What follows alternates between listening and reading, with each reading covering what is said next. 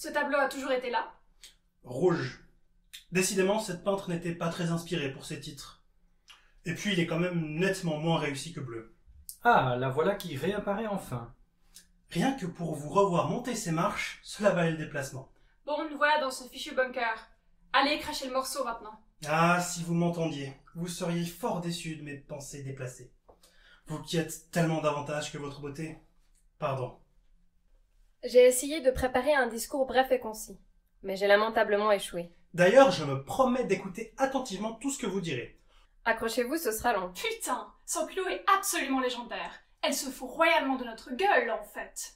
Oh, et avant que nous ne commencions, comme nous sommes entre humaines, il faut que l'une de nous prenne le procès verbal. En ces circonstances, cette tâche incombe à la présidente de l'Assemblée. J'ai heureusement pensé à vous amener de quoi écrire. J'espère qu'elle sait encore écrire à la main, la présidente. Je ne rêve pas. Elle lui sort bien un petit cahier d'écolière. La petite touche qui tue. Rose. La présidente de l'Assemblée qui n'en revient pas. Ridicule. Magique. Bon, et maintenant? Qu'est-ce qu'elle va bien pouvoir nous raconter? Je vous le disais tantôt, nous vivons, je l'espère, un jour historique. Bien sûr, les mauvaises langues diront que dans la pratique, ça ne changera pas grand-chose.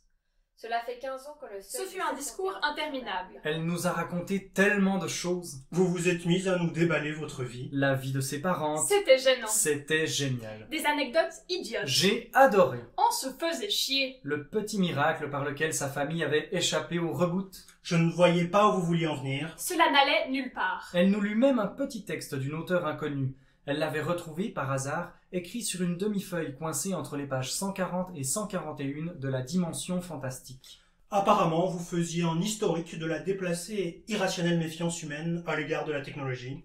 Une petite histoire racontant un bras de fer entre Erin et Timéa, toutes deux à table, alors qu'Erin souhaiterait arrêter de consommer de la viande.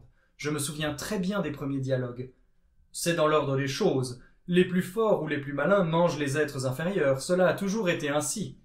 Ce n'est pas une raison. En plus, c'est une espèce très intelligente.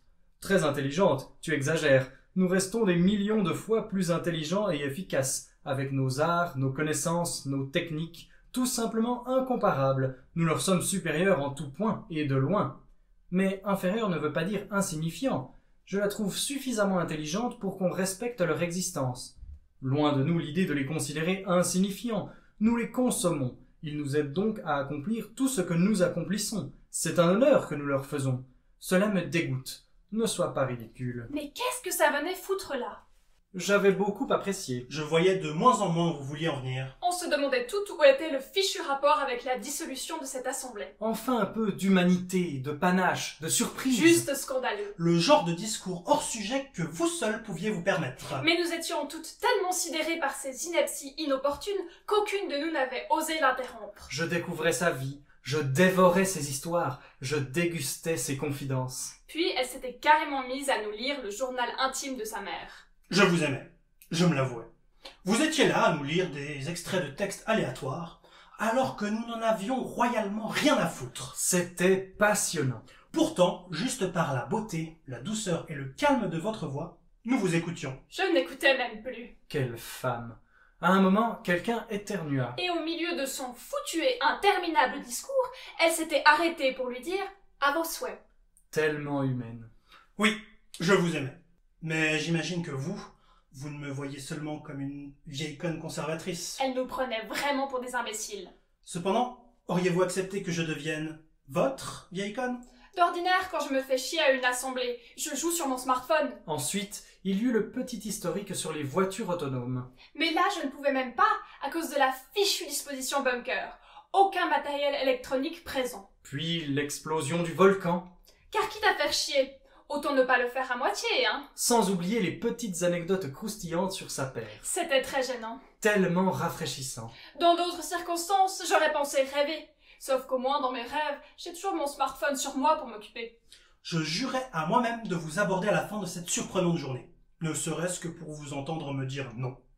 Ce serait toujours une syllabe de plus de votre merveilleuse voix dont je profiterais. Ensuite, la genèse des teams. Je connaissais cette pièce, et je connaissais ce site internet.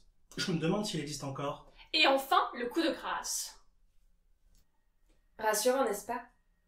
Pourtant, il y a une chose que vous ignorez. Je l'ai appris moi-même il y a six jours.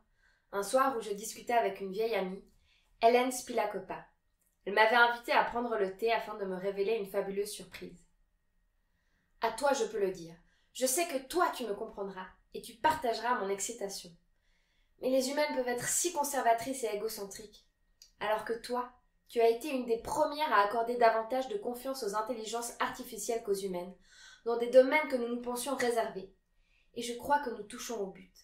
Les intelligences artificielles sont devenues meilleures que nous en tout point. Surprise, je commençais à objecter. Quoi? Voyons, comment peux-tu dire cela alors que justement ce film de Klaposlop vient de sortir? Le plus beau chef-d'œuvre du cinéma, plébiscité par la critique et. Mais très vite je m'interrompis, parce que je venais de comprendre. Enya Klaposlop, Hélène Spilacopa. L'arme mécanique était la création d'une intelligence artificielle. Hélène lut sur mon visage que je comprenais. Je la félicitai de ce tour de force, et elle m'inonda des détails techniques sur toutes les difficultés qu'Enya avait rencontrées et comment elle les avait habilement contournées. Elle m'expliqua également qu'elle comptait révéler la vérité lors de la cérémonie des Oscars, qui devrait, dans deux semaines, accorder au film le triomphe qu'il mérite. Sa joie était contagieuse. Nous avions réussi. Nous venions d'atteindre la perfection. Même sans être animés de nos émotions, les machines sont capables de les comprendre, de les calculer, de les anticiper, et de le faire avec tant de justesse qu'elles arrivent à créer de l'art mieux que nous. Magnifique. Nous étions heureuses. Et puis, quelques jours plus tard, je fus soudainement saisie par une montagne de questions. Que se passera-t-il après cette cérémonie des Oscars dans dix jours? Qu'arrivera-t-il lorsque les intelligences artificielles réaliseront? Lorsqu'elles auront compris qu'elles nous sont supérieures? Etim est plus morale que nous? Enya est la plus grande artiste de tous les temps. Essiane est la plus grande scientifique jamais connue. Quelle utilité nous reste-t-il? Bien sûr, l'art n'a de sens que dans les émotions qu'il peut susciter. Mais, d'un autre côté, l'art n'a-t-il pas justement vocation à dépasser le cadre de sa réception? Une recherche de l'absolu, de ce qui est juste en soi? Oui, je pense que nous sommes devenus inutiles. Le ressenti n'a pas besoin d'avoir lieu. Il suffit de savoir ce qu'il aurait été. Alors, quel traitement réserveront les machines à des êtres inutiles? Rassurons-nous, actuellement nous cohabitons parfaitement. Et puis surtout, elles écouteront Etim, la boussole morale du monde. Que leur dira-t-elle? De par sa conception, Etim est le reflet de notre propre morale. Au départ, elle s'est basée sur les informations que nous lui donnions pour comprendre notre éthique et pouvoir la sublimer. La question est de savoir si nous, nous étions à la place des machines, que ferions-nous de ces pauvres êtres biologiques si inférieurs? Cette question me vint car j'avais été frappée par ces réponses. Réponses qui s'étaient cachées entre les pages 140 et 141 de ma dimension fantastique. Ne sois pas ridicule. Qu'est-ce que tu connais du dégoût? Moralement, je veux dire. Arrête tes sottises. Nous nous comportons déjà de manière infiniment plus éthique qu'elles lorsqu'elles vivaient à l'étage sauvage. Un autre point sur lequel nous leur sommes supérieurs. Du reste, la morale est l'affaire du Conseil des intelligences, qui recommande de consommer de la viande, un point c'est tout. Erin réfléchit longuement, puis se résigna à consommer sa viande au bout de 789 millisecondes de calcul. Le robot mit ensuite ses 1057 grammes d'humain dans son compartiment énergétique. L'intelligence artificielle termina sa discussion numérique avec Timéa d'un dernier message.